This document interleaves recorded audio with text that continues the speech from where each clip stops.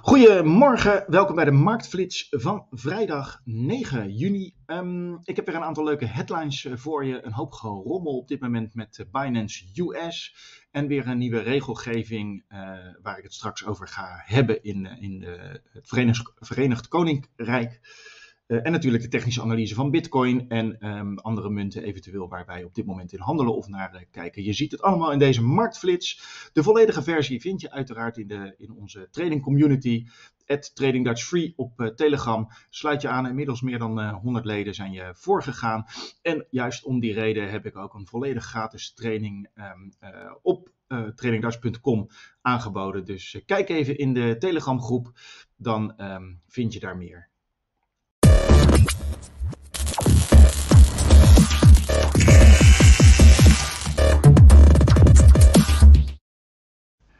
Um, uiteraard gaan we eerst even naar de headlines uh, toe. En vooral Binance US, die ligt uh, onder vuur. Um, uh,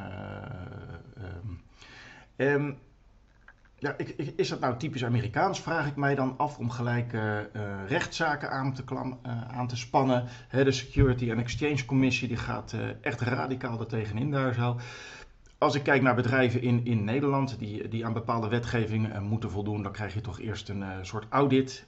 En, dan ga je samen daarnaar kijken, ga je spullen opleveren en vervolgens krijg je de kans om bepaalde dingen op te lossen. En als je die hebt opgelost binnen uh, een bepaalde tijd, dan krijg je nou, de, de, de, nog een audit en dan krijg je een stempeltje. bij wijze van spreken. En hier zijn het gelijk radicaal rechtszaken. Nou, dat heeft nogal een impact. Um, uh, Binance uh, US, hè, dus de Amerikaanse tak, vergis je niet, niet de Binance waarop wij handelen. Binance US heeft onlangs aangekondigd dat um, het de stortingen in de Amerikaanse dollar opschort. Um, en de klanten worden gewaarschuwd voor een mogelijke um, uh, onderbreking van de, van de fiat-opnames.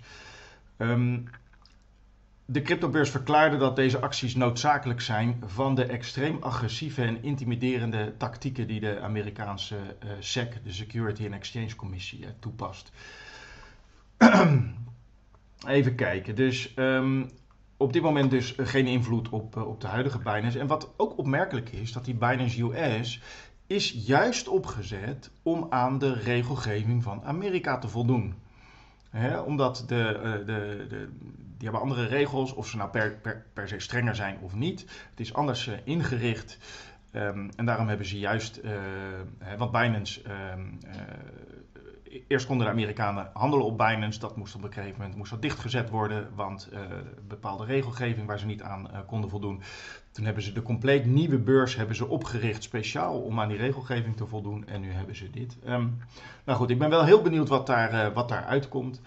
Um, Even kijken, de Binance advocaten zelf zijn ook in de aanval gegaan. Uh, namelijk um, uh, de voorzitter van de Security and Exchange Commissie zou zich in 2019 hebben aangeboden juist als adviseur uh, voor Binance. Nou, wat precies de aanval dan is, um, weet, ik, weet ik niet. Misschien dat ze hem niet hebben aangenomen en dat hij dan nu boos is, dat ze hem dat willen verwijten, want dat lees ik eigenlijk nergens. Um, Even kijken. 1433 uh, oude bitcoin, dus meer dan 10 jaar oud, die zijn ineens verplaatst. Dat zijn dingen die je kunt uitlezen op de blockchain.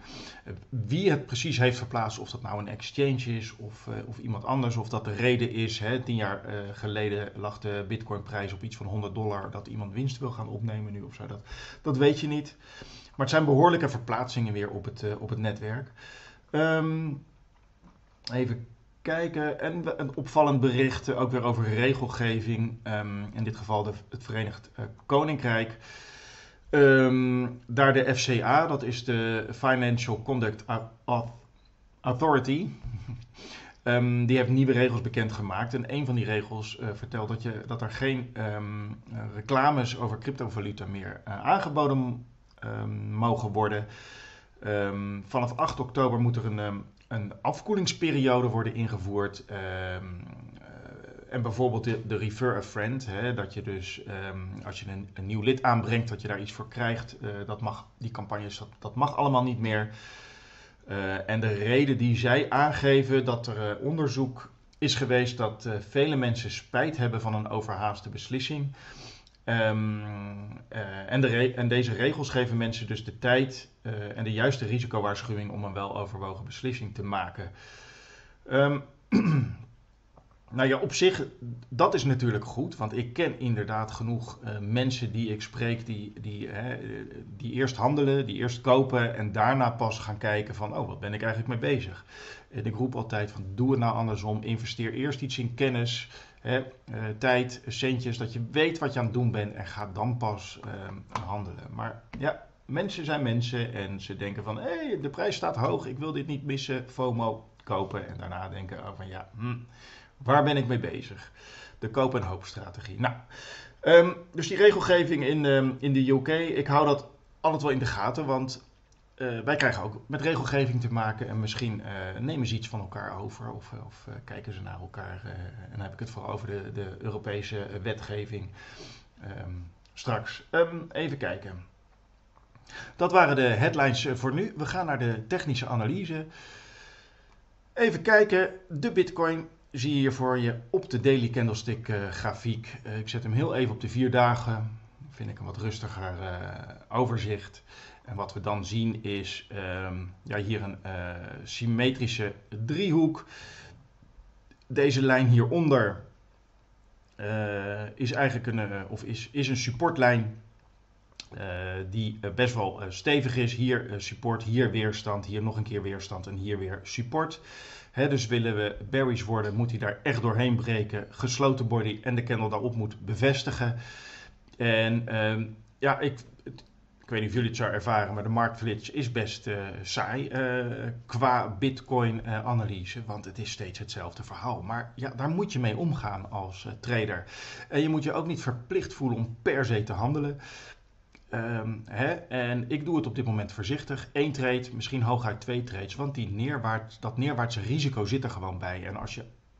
Ik kan, ik kan vijf, zes hele mooie setup, setups vinden in altcoins. Uh, een setup is dus een volledige uh, analyse uh, waarbij je een instapmoment ziet. Um, en, en mooie uitstapmomenten.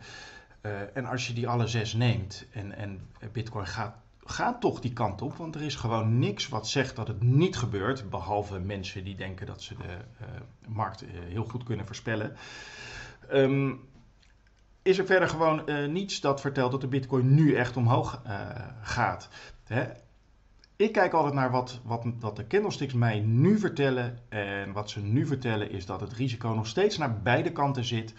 Um, wat hebben we nodig voor dat neerwaartse risico? Uh, wat ik al zei, de candle moet door deze trendlijn heen, uh, trendlijn, door deze uh, supportlijn heen gaan met een gesloten candle en de opvolgende candle moet dat bevestigen, dus ook weer rood zijn. Nou ja, en dan hebben we gewoon het risico dat die, um, die gap die hier is ontstaan in de CME Futures op de 20.300, dat dat um, een target wordt. Dus dat is gewoon mogelijk. Als je het zo hoog over bekijkt, um, zitten we in die zijwaartse markt en moet er gewoon uh, binnen deze driehoek een beslissing genomen worden. Hij kan natuurlijk ook naar boven uitbreken en dan hebben we hier de eerste weerstandlijn op de 31.000. Gaat hij daar doorheen, dan zit er een gap um, op de 35.000. Nou, wat bedoel ik met gaps? Dat ga ik zo in de volledige versie van de marktflits even aan je laten zien. En wellicht weet je het al als je mij regelmatig volgt, dan weet je waar de gaps zitten. Dus... Um, Stressvrij traden, hoog over bekijken. Ik heb geen behoefte op dit moment om verder in te zoomen, om te gaan raden waar die markt naar naartoe gaat. Want hij speelt gewoon binnen deze omgeving en hij gaat nu rechts. Hè? Hij is weer ietsje lager gegaan. De groene candle heeft een prijsafwijzing gekregen tot hier.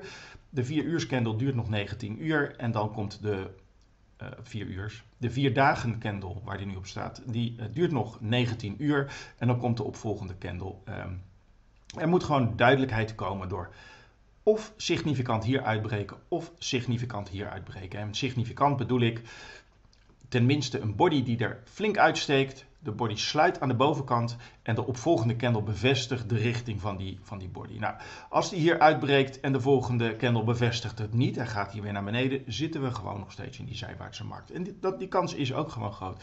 En daar moeten we het mee, uh, doen. Um, dus duidelijkheid in de markt uh, vergt geduld van de, van de trader. Um, Oké, ik ga nog even verder. In de volledige versie gaan we daar net iets dieper op in. En daarvoor kun je naar de Telegram groep Trading Dutch uh, Free. Uh, dat is uh, onze training community. En daar plaats ik van allerlei lessen. En kun je ook vragen stellen en aan, aan elkaar. Dus dat is hartstikke leuk. Dus join de club. En um, houd je het voor gezien hierbij. Wens ik je een heel fijn weekend.